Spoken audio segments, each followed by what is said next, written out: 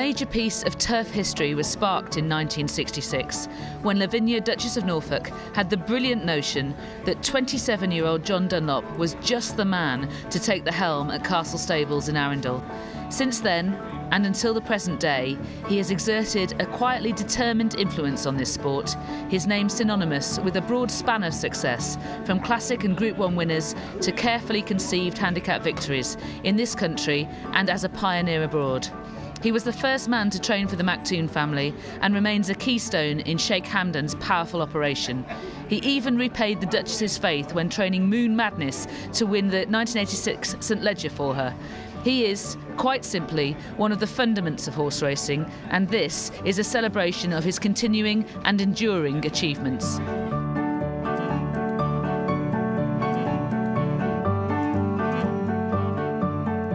These boxes here, of course, are the original stabling for the castle, which is, you know, is just 100 yards down there. And these big wide gateway, these big wide archways here were the carriage houses. You know, you can see what they were for. Mm. And they've been adapted as the stables um, over the years inside. But that's what those great big archways are there. And how long have you been here, John? I've been here since 1963. which is a long time ago, and I first had a license here in the autumn of 1965, um, which again a long time ago. And you feel that the Duchess sort of took a, a hunch with you, didn't she? she? Well, she she really did, because I wasn't very old then. Um, and I think uh, Gordon Smythe, I think, had decided it was time for him to move on, and he went to Lewes and took over from Towser Gosden, John Gosden's father, mm. and immediately trained Charlottetown to win the Derby that first year he was there. And I was Gordon Smythe's assistant here, and uh, I was given the opportunity to take on as trainer. Um, there weren't a huge number of horses there, there was something in the region of between about 50 horses in those days, mostly, well, mostly, 90% of them belonging to the Norfolk family, mm. and one or two very close friends. It wasn't really a public, well, it was a public stable, but it wasn't, if you see what I mean. And when it, was it part of your sort of business development that you made it more public? I think so. I think probably, too, the advent of, of well, having some successes and winning the Derby with Shirley Heights and things brought my name to people's attention, and one was asked to train more horses for more people, and we built more boxes and expanded the whole thing bit mm. by bit by bit. Mm. And when you first started, was it the confidence of youth that allowed you to sort of, because it's quite a big thing, isn't yeah, it? Yeah, it was. And huge support from the Norfolk family. I mean, that was the, that was the great thing, you know, which did make life, made life easier for one, you know. Mm. Yes, I think you're probably right, yes. And how about your um, kids? Because obviously Ed and Harry are. Yeah, they're both training. Now. Poor things. They've never given the opportunity to see any other sort of employment. I don't think actually. No, Harry's um, Harry's got a is is finding things tough. he hasn't got very good horses and battles away, but he's a really really hard worker. He and Christina, his his wife. Um, and I just hope they can get a good horse and really develop from there. And you think that's the key? If you get a good horse and show what you can do, then things... You, you do need it, don't you? You do, you do, because it's all very well, you know, if you've got cheap horses, and he, he'd been very well supported by owners of mine and various other people who've been very loyal to him, but they are the second-rate horses, to be perfectly honest. And you've got to be very lucky for those cheap horses to come good and, and really come good. You know. Do you think it's harder as a trainer starting out now than it was when you started out? Uh, awfully hard to tell, isn't it? There are so many people who start off, don't they, really, and, and you have huge successes with some of these young trainers, and I don't know, just difficult to make comparisons, really. Uh, coming back to your um, sons, you've spoken about Harry, you haven't um, mentioned Ed, who's, who's had some great success and recently put in quite a bit of investment, hasn't he? In, he certainly has, he certainly has, yeah, he certainly has. And had a bit bitter blow when he lost all those horses um, last autumn, you mm. know. Um, for whatever reason there was, I don't know. It never seemed to be made clear.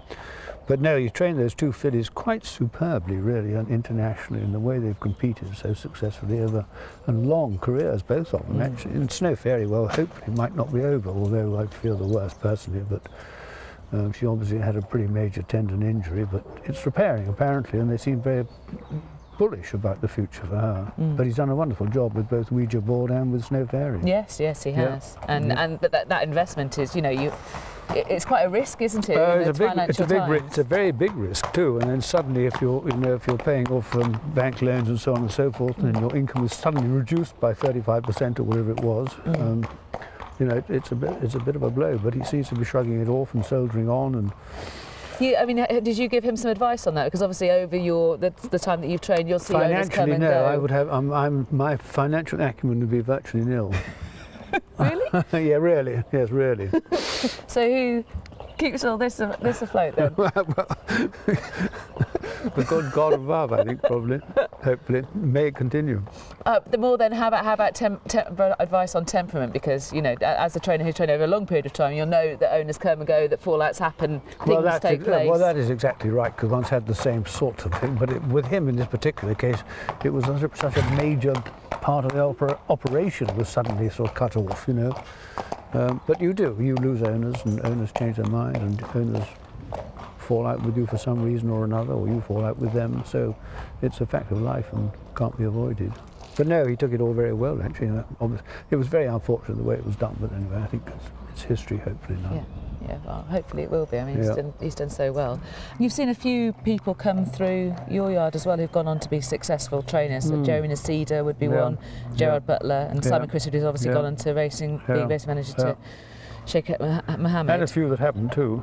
a few that have started training too and haven't hasn't worked out. You know. Did you think the ones that have succeeded? Did you? Was it obvious that that, that Jeremy was going to succeed? That Gerard was going to succeed? they were both they were both hard workers and, and fundamental lovers of racing. I think too, both of them, in different in different ways actually, but they were, and um, and they both proved very successful. Jeremy came from a, a completely non-racing background, didn't he? Yeah, totally, totally. Yeah, in a London family and no, not involved in racing at all. And you gave Simon Crisford his first job as well? Yeah, I did. I did. Yeah, I did. Jeremy and he were here together at the same time, actually. And were you conscious of having quite a sort of table, a stable of the talents at the time? Then you said you had quite. Uh, I don't know. Once, once had a lot of assistants over the years, and some good, very good ones too. Mm. Actually, but those two were both were particularly interesting. And how about uh, Marcus Hosgood, who's your racing secretary? Yeah. Because he was somebody that you introduced to your operation. What was your thinking at the time that you wanted to employ him? Ah, I have no idea. I can't remember. So long ago. Well, was it a case? Of, I mean, because he was a basically he worked on the Evening Standard, wasn't he? Absolutely. He was a tipster. Absolutely. You, do you did he bring something to the operation that? And he worked for Raceform as well, mm-hmm. um, and he has an inherent knowledge of the racing calendar and the racing program and so on and so forth. And he's been a huge advantage and a huge help to me for all these years. Um, but there aren't that many people who, who are so closely involved as he might be, you know.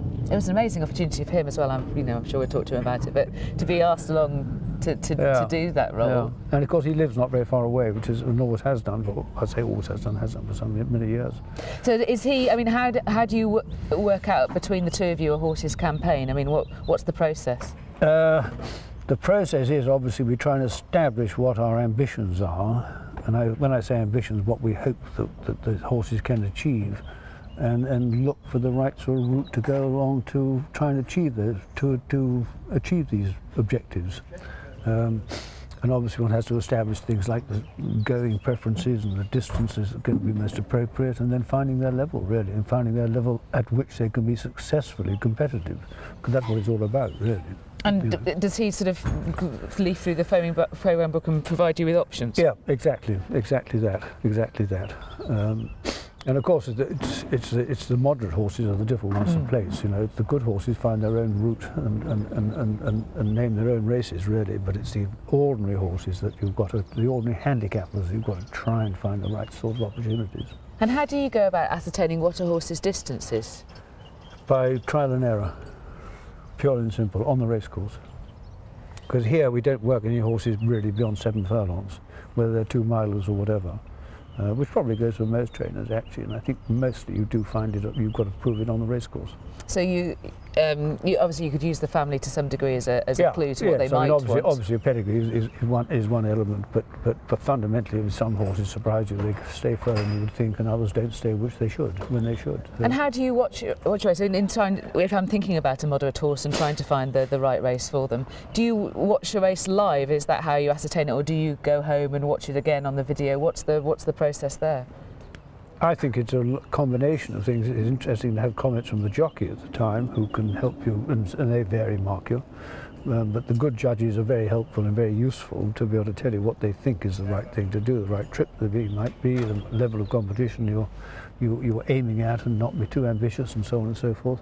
And of course comments of Marcus and oneself and experience really you are you are a trainer who, who likes using handicaps, don't you? Even with your good horses. I mean, you were talking earlier today about how you think horses that might even have you know group pretensions, you're going to run them in a handicap because you can exploit a handicap mark. Some trainers don't do that. What what is it? You know, what what's your thinking? Your method, I suppose. Well, it's it's it's pretty obvious, really, that if you receive weight from other horses, you've got a better chance of winning than if you're running at level weights. Would that not be true?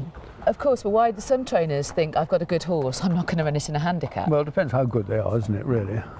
Do you think it, it, if they're on, on, that stratospheric level, it's And of course, if, if, if, if, they, if they have established a, an attractive handicap mark, they obviously haven't proven themselves as good horses. Mm-hmm. So they've got to prove it, really.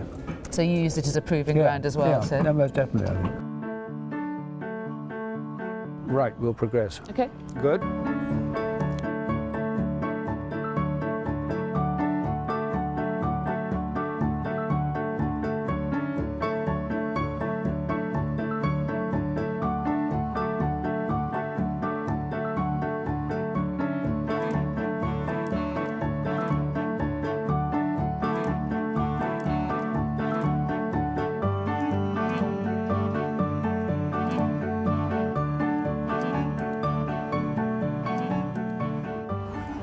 About the thing about horses and racing is nothing is nothing's ever black nor white, ever.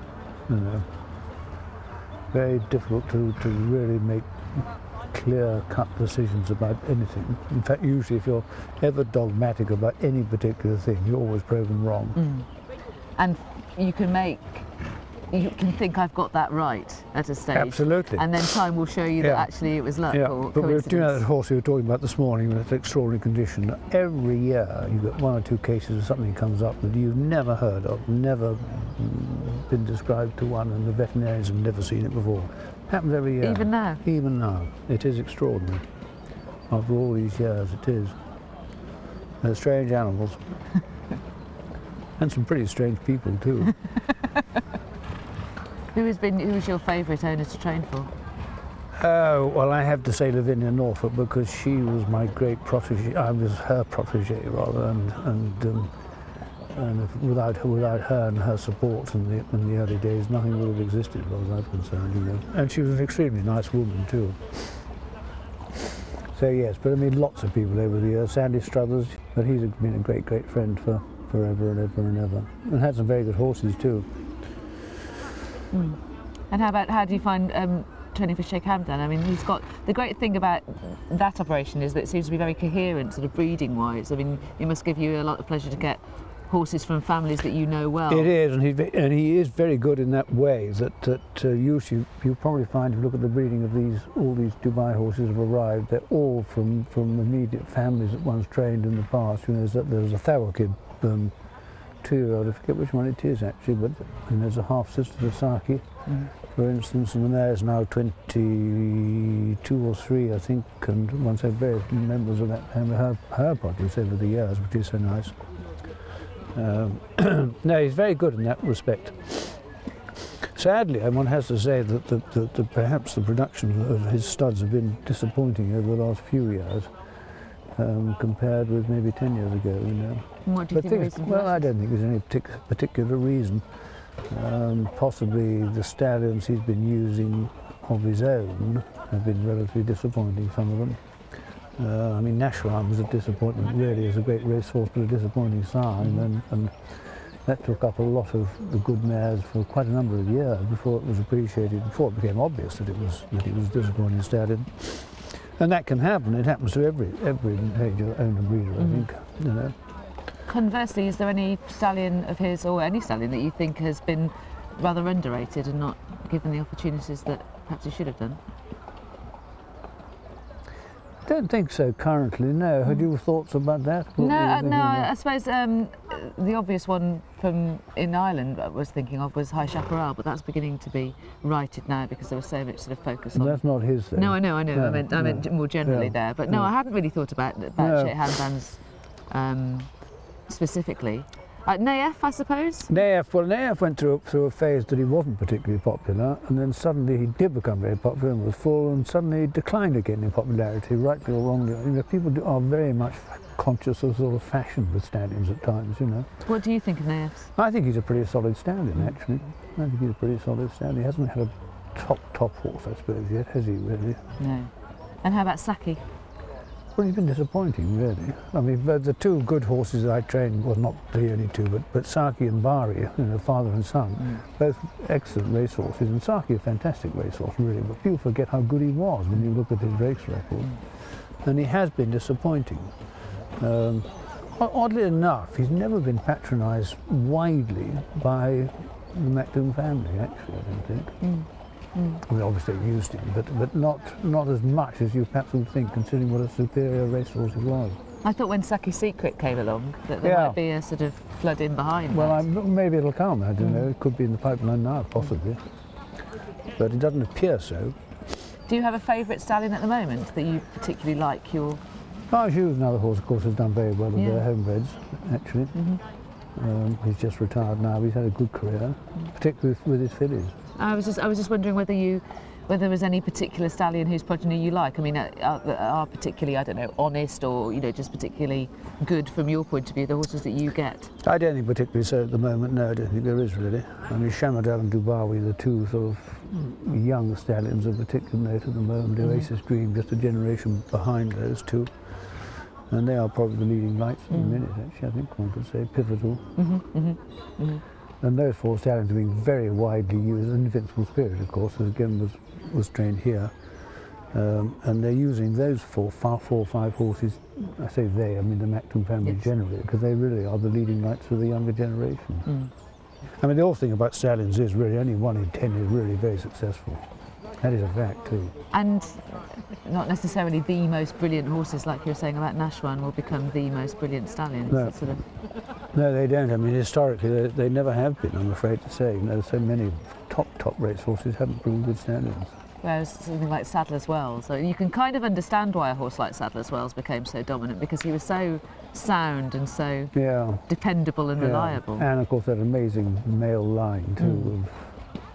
of Northern Dancer. I did want to ask you about um, jockeys, because obviously Richard Hills has recently retired and yes. Paul Hanagan has taken over as Sheikh Hamdan's uh, rider. Now, you you did once have a stable jockey way back, A you? A long time ago, probably before you were born, I think. An Australian called Ron Hutchinson. Mm. I've heard of him. You've heard of him. You've I, heard of him. I, I, don't know anything about him. So he was a charming man, delightful man. When was he here? Um, when I first started, so he was riding here in probably the early 60s. Prior to that, Scobie Breasley rode for the stable for two or three years. Um, but really, it became the situation there weren't that many top jockeys that were that were available if you wanted to retain another one. Mm -hmm. And there's no point in retaining somebody you haven't got sort of real confidence in, you know. Mm -hmm. um, you really want to be feeling if you've got a sort of 7 to 4 favourite for the Derby, you know you're happy to put your stable jockey up. But if you're not, you don't really want one like that. And you felt that none of those people were available? Well, they weren't really. They weren't, as it so happened. There were more retained jockeys in those days, I think, than there are now, mm. actually. Mm. There aren't too many people who actually retain a jockey or pay a large retainer for a jockey.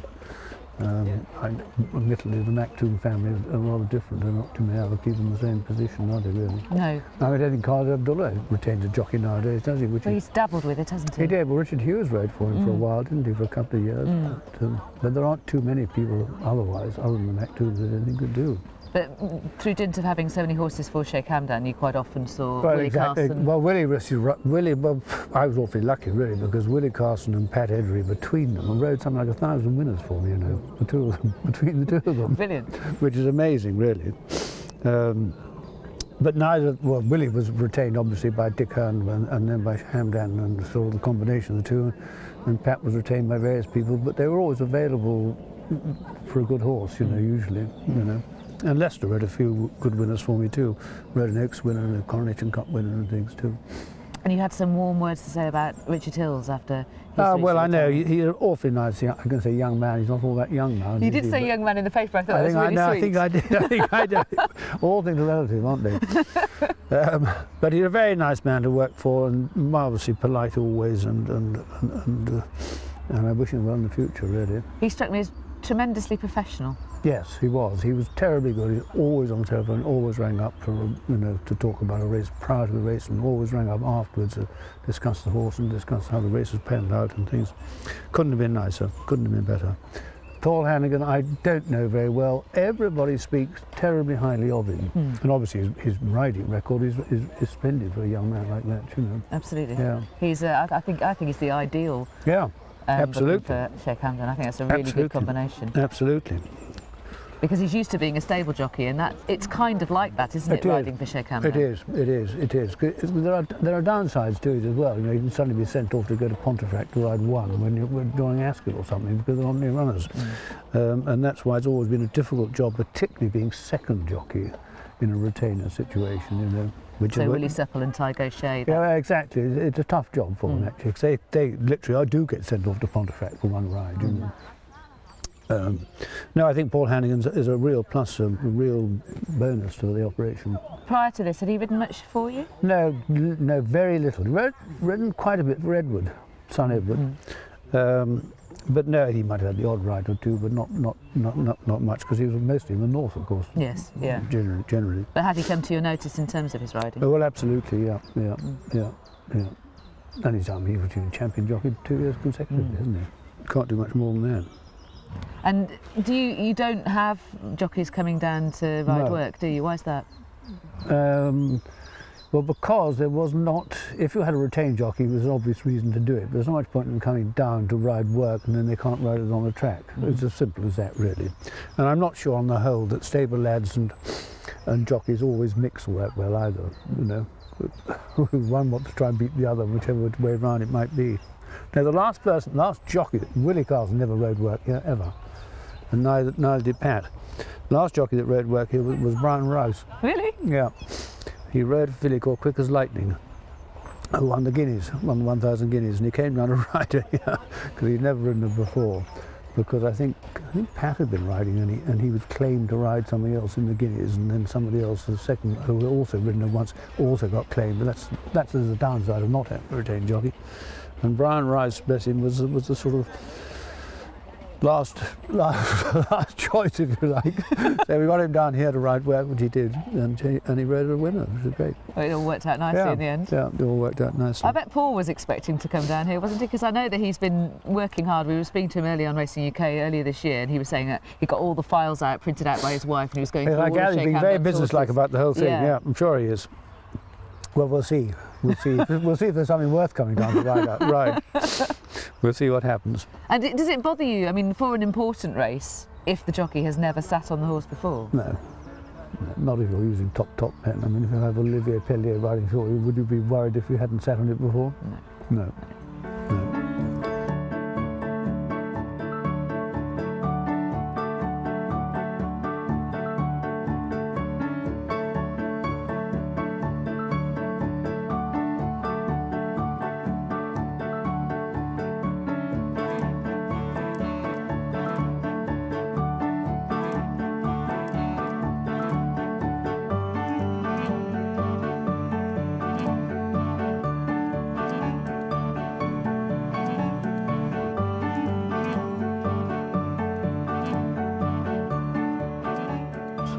wonderful fillies. I mean, Salsabil was a, a fantastic filly. You know, do you remember her? I do remember Mount Yeah. Salsabil. She's one of the reasons why I love racing. Just Yeah. an incredible. Yeah. When Yeah. tell me about you know when you first saw her and, and realised that she was good. Oh, I suppose as a two-year-old, and for some reason we had we had a hiccup with her, and she couldn't run wherever it was we'd sort of chosen to run, and we finished up running her at Nottingham, I think, first time up, you know, because we'd run out of opportunities. And then it became obvious how good she was, and she went on as a three-year-old, as you know, and she won everything. Was it a straightforward three-year-old year for her? She was, yes, it was until the until the Arc, funnily enough.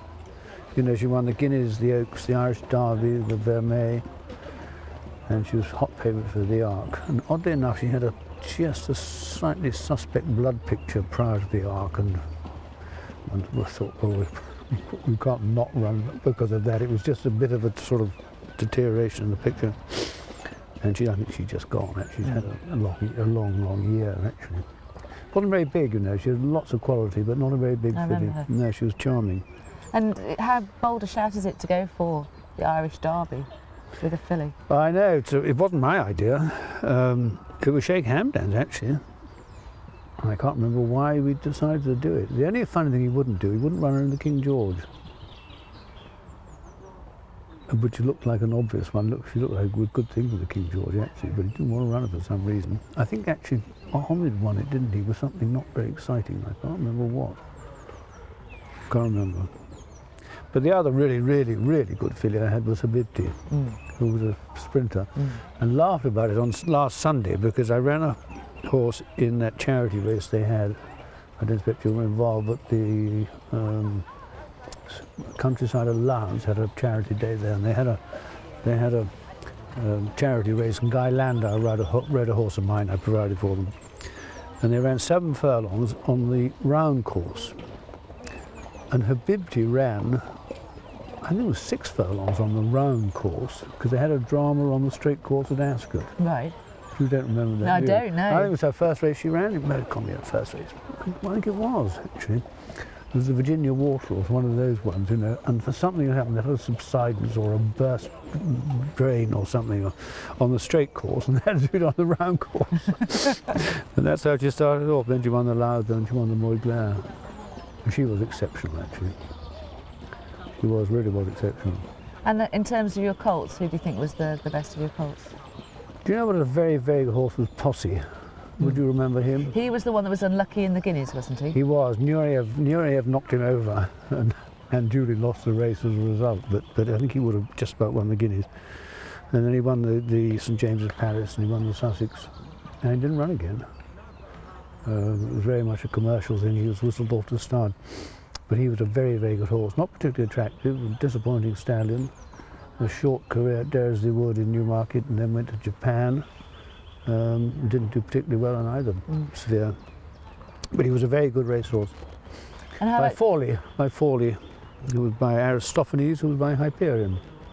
and how about Shirley Heights? Because when you're sort of starting out and you, you get a, a very good horse, it always strikes me as you might be a little bit nervous about how good he is and will you do the right thing and was that how it was? Well, it was a bit with him because um, it was, and, it, and so it proved in the end actually, because um, you know, as a two-year-old, we ran him quite early. He ran, he won the July meeting, but he ran twice before that. You know, so, and he was a, you know, he was a, a Mill Reef. You didn't expect him. Although Mill Reef himself was precocious, don't forget, he was a Royal Ascot two-year-old winner, and he wasn't very big, but he was very strong, very powerful little horse. And he took a long time to get the weight off him. He was a fat little thing. And he came good and he won at, at the July meeting, and then of course he won the, the um, Royal Lodge. Um, and then the next year he was big and fat again. He got well beaten first time up in the classic trial at, uh, at uh, Sandown. And then he won the Dante like a really good horse and won the two derbies. And then sadly went wrong because I wanted to run him. Well, that, one of the biggest worries was the Irish Derby. He belonged to Lord Halifax, old Lord Halifax. And he didn't really understand the Irish Derby. and It wasn't very important. The, obviously, St Leger was a Yorkshireman, obviously very much a Yorkshireman. So the horse, you know, the St Leger was anything that really mattered. But we managed, the Duchess and I, Lavinia of Norfolk, and I managed to persuade him to have a go at the Irish Derby. And he won by the narrowest of margins, and we all thought he got beat from when we were watching it. And, oh my God, we, don't, we, we really have done the wrong thing now. And then sadly, it went wrong after that, uh, and we couldn't run him again. Mm. But pro, proved a wonderful stallion, amazing stallion. Must, uh, again, that must have been great to, Yeah. have his progeny Lovely, coming to you. wonderful. Well, Could you? Did he stamp his, his progeny? Could you? Could you tell were? I think he did, yeah, he did. Uh, but he was, you know, yes, he did. I suppose he did, yeah, yeah. and how about Erhaab, your other Derby winner? How would you characterise him? He was a he was an interesting horse actually because he wasn't very good as a two-year-old. Nothing went really right for him as a two-year-old. He liked fast ground, and the ground never seemed to come right. We ran him in Horris Hill, I think, finally, um, having won a maiden at Redcar, actually, beating Piccolo amongst other things, and very fast time, strangely enough, over seven furlongs. And as it proved subsequently, it was a very good performance Mm. actually. Um, but as a as a three-year-old, he, he, he wasn't showing a huge amount in the spring, Um, and then we ran him at Newmarket. He was very unlucky to get beat in the field, and I think it was, or you know, one of those early trials for Ebremar. And then he won the Dante like a really good horse. And he won the Derby like a very good horse too. Actually. He did. Yeah. Is it unusual to be able to get a horse to the Derby at all, let alone win it, if they're not really showing very much in April? You would think so, yeah. But I mean, Shirley Heights wasn't showing anything much. You know, he needed, needed or had to have a race to get himself fit enough. I think, really. You know. And so that is that just down to sort of trainer's instinct or trainer's knowledge to think, oh, this horse is actually very good and I'm persisting Well, Shirley Heights has shown as a two-year-old actually. He was good when he won the Royal Lodge, and he, he did come good. He was maturing and getting better all the time. And then he wintered too well, uh, and took a long time to get himself fit again. get him fit again.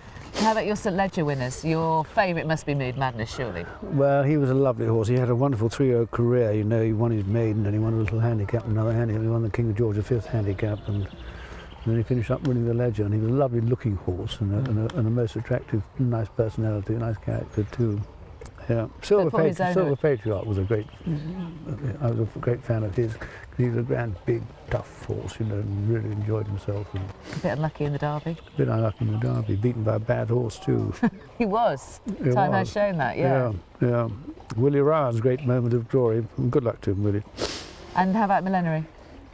He was a good horse, you know, too, and a consistent horse. Know, he had a very good career, actually. I mean, he won a lot of races. He won just short of a million quid, you know, Mm. which is there's a lot of money any day. The Moon Madness because of the connection Yeah, with, his Yeah, owner. exa- exactly, exactly. Well, the other interesting horse was, and, and was an important horse, was Ragstone, who won the Ascot Gold Cup, Mm. owned and bred by the Duke. And he died, the Duke died, what, two years later, and he was then Her Majesty's representative at Ascot. And, and the Ascot Gold Cup to him was sort of probably more important than practically anything else, you know. And that was great, and it was a sort of a, a big plus time, you know, when things do, do, do go right. Do you think you have an affinity with, for stayers, or do you think you, it, it doesn't really matter? I don't think it matters, to be perfectly honest. Um, I've had a few good fast horses, you know. Habibti was the best of them, probably. One of the Vernons with what?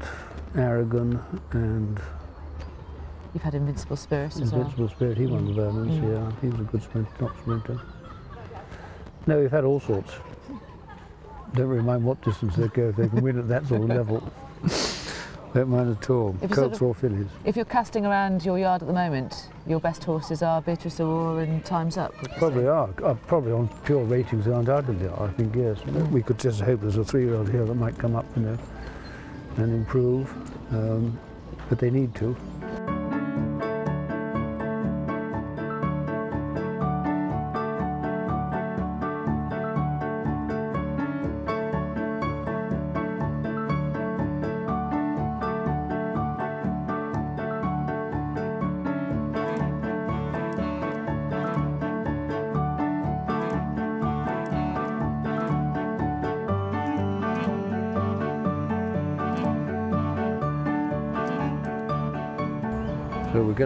Going to leave here just walking, and we'll go back down and see the two-year-olds come back up again, Okay.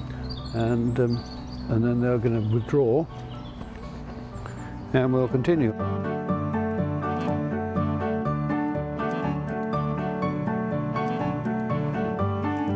What is the horse recently that has given you the most pleasure then to, to train? Recently. Yeah. What do you mean by recently? In I last- suppose I mean in the last 10 years. in the last ten years.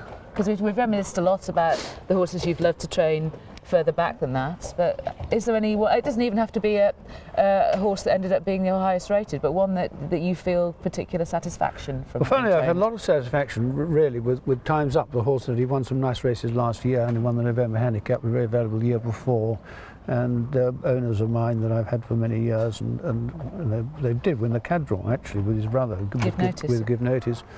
Um, but they've been very loyal and very enthusiastic, and, it was, and it's great to see them happy and them enjoying it and, and, and being involved with the same old men. They bred them all themselves, you see, too, which is so encouraging. So good. And and you've got so many horses like that. I mean, you've bred so many, you've trained so many of horses that are quite you know, closely related to others. Like Harlestone Times would be Yeah, yeah, would be a, another one where you've bred, you've trained lots of the family. Yeah, I've got a nice three-year-old actually, Have you? full brother, Name of?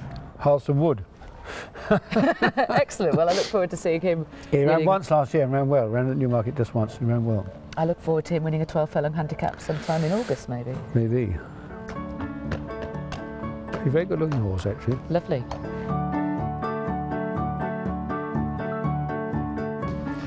What Yeah. strikes you about being most different about training now to compa- compared to training, say, in, even in the 80s or, or the 70s? Well, I think the worst, the worst thing at the moment is, of course, I know it's, a, it's an old chestnut, but the level of prize money is so appalling in comparison with the cost of everything, which keeps on going up and up and up and up. You know? And it is awful when you sit, sit down and look at the prize money at somewhere like Yarmouth over the weekend, and very valuable horses running for less than 2,000 quid to the winner. You know. And do you feel com- confidence that the British Horse Racing Authority, those people in charge there, are going to work towards a workable solution on that? What is what is the workable solution? Well, I think that's the problem, isn't it? It No, is, it is. It is. I mean, all racing throughout the world is financed by off-course betting through the machine, isn't it? I mean, there is no other country in the world, I don't think. I mean, Australia has that wonderful combination of, of, of off-track um, totalisator betting and on-track bookmakers, which seems to work exceptionally well. But every other country in the world is dependent on, on pari-mutuel betting to finance their racing. And I don't know what the future is going to be here, really. We've given away the tote. We've lost that, which was disastrous, but how it could be avoided, I don't really know. Uh, the bookmakers go offshore. Um, how, how is the betting industry going to finance racing? It's not actually, because the big bookmakers are all public companies. Mm. And their, their first call is to their shareholders, obviously. Mm. So I don't know what the future is going to be, to be perfectly honest.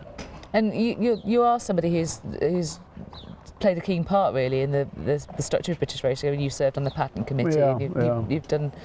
Yeah, I know. I'm now being retired though, but from everything, so I'm far too old to be involved and have an opinion any, any longer. Yeah, I, I thought that was a bit rough, really. I mean, uh, how do you feel about that? Would you have liked to have carried on? Um, well, I enjoyed I enjoyed working with racing welfare, and I was involved with the Sabres Welfare Trust for 30 years or, so, or more, and, and the racing school for 25 years or whatever. And I've enjoyed seeing them develop. But they're big operations now. The racing school, as you know, is, is, is a major operation, and and racing welfare and the Sabres Welfare Trust originally, I mean, it was on a shoestring, and now they've got a portfolio worth X millions and things. It's a different ball game, really. But, uh, you know, you, you show no intention of retiring from being a, a racehorse Not trainer. as yet, not as yet. No, not as yet. But So, um, I mean, you know, it's, it, why, why should you retire from any other aspect of, of Well, I don't know. I think you, you, you, after a while, you're involved with all the politics, and things come round and round and round, and you've heard it all before. And we might be having racing for change now, but we, we've seen all these suggestions crop up over the last 40 years, really and truly. And there comes a point that really all you're interested in is your own operation and your own friends and your own family, indeed, involved in the sport, mm. more so than the big picture, I suppose. Which perhaps is selfish, but one feels one's done it all in the past. Yeah, no, you've, I think you've, you've, you've contributed a lot, haven't you? What did you make of the British Champion Series first time around? We've had a year of it now. It involved quite a lot of disruption to the pattern in order Well, the to bring it series. I don't think is such a thing as a series. Quite frankly, it's an original pattern that we've had over the for the last. It has developed over the last. When did the pattern? When was the pattern initiated? Thirty-five years ago, whatever it was. Um, Champions Day was a huge success, but it was fortuitous to say the least that we a had Frankel, we had fantastic weather and competitive racing throughout. But you could well see it was a filthy, poor, wet day and not, no real superstars. Uh, unless you open the gates and let them in free, I don't think you'd have got the crowds that we got last year. So you think it's still got something to prove? It well done on your first year, but Well, exactly. I would say exactly that. Yeah, yeah. And what? Just to change the subject slightly, what do you think of Frankel? Uh, Everybody's raved over his three years, some fantastic performances. You've seen many great horses during your time training. How, yeah. What do you think Uh, of him? Well, interesting enough, there was a comment in the paper today, I think it was. I can't remember who wrote it. I had a quick look at the Racing Post this morning about Brigadier Gerard. When you think of the horses that he beat um, during his racing career, well, Frankel hasn't really met those sort of horses. He hasn't had that sort of competition um, that the Mill Reefs and the Seabirds and thing had in the past, you know. Um, I think he's a fantastic horse. He's a marvellous physical specimen too, and a beautifully bred horse too, and beautifully trained by Henry. Um, but whether he's a really up there as a super superstar, I don't know. He's got presumably he's got to prove it. He's as a four-year-old as well, hasn't he? Well, he has, a- yeah. He absolutely has. Of course, he has, yeah. But he is unbeaten after all. and He hasn't looked like any beaten. Well, except that day at Ascot, it looked a bit um, worrying for a first stride, didn't it? It did. The performance in the 2000 Guineas was extraordinary visually, quite, though. ex- quite extraordinary. But it looked sort of freakish. It didn't look quite like the sort of real thing. You know, you'd like to see horses who are controlled and under control and quicken and show that wonderful acceleration. We hadn't quite shown that. He's a sort of flat-out galloper somehow. Although I think he was getting more restrained and more refined as, as the season went on, perhaps. I was about to suggest the Queen Elizabeth II stakes. yeah, you think that was a more sort of substantial? I think it was. And this year will be fascinating, actually. I hope there's enough competition around to, to, to make him, to prove him, really. It's interesting that Sir Henry Cecil wants to go up in distance as Yeah. well, which will be another thing that Brigadier Gerard had, Yeah. versatility of Yeah. distance. Exactly, exactly. No, it'll be most interesting, fascinating.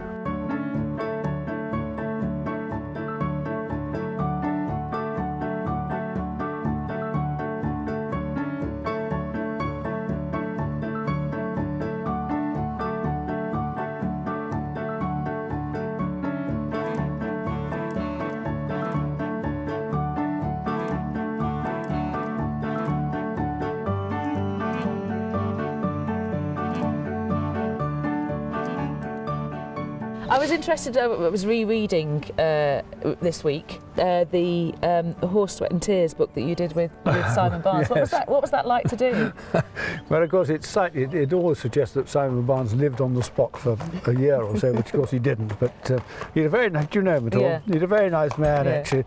And he got quite involved and he really enjoyed it all, actually. I think he, he thought it was quite, quite fun. You could see him increasingly rooting in his writing for, for Team Dunlop the whole way I throughout know, the book. I know. It was, it was entertaining. But I was interested in the fact that you wanted to do it because you thought it would be good for racing, didn't you? You, thought it was a good Is that way. what I said, did you I? did say that at the time. Do you think I meant it at the time? I don't no know. Did you read it? I don't know. I've read it. Certainly, I have read it. Yeah, I have, and uh, and I quite enjoyed it. It was quite amusing, and and, and he and he enjoyed it, and and I think the book was quite successful. What it achieved in the in the big scene, I don't know. Not much, probably. I thought it was a, it was a really good book. I really enjoyed it. Yeah, I've read it twice now, but Good. and I thought you you gave your staff sort of platform to, to well, speak. he was very good. Simon was very good at that, like that. You know, he went in the horse box with them to the races and things, and got involved with the staff quite closely and things. Um, and no, no, it was, a pleasant book. I suppose I, I suppose I was thinking that you thought it would be, you know, I, I wanted to get at how you felt that you wanted racing to be something that people could access, and is that something that you still feel for racing? You wanted to make it more widely accessible. That, that struck me as quite a modern thing to do Well, I at a know. time I mean, when it's become race, trendy racing now. is widely accessible as long as you can afford it, isn't it? That's the essential truth of it, isn't yeah, it? it is. And it, and it probably is expensive. Well, it is expensive, but so are most entertainment's expensive, actually. Well, the great thing about vet racing, yes, is you always hope that you might just have the, the best horses ever appeared on the English turf.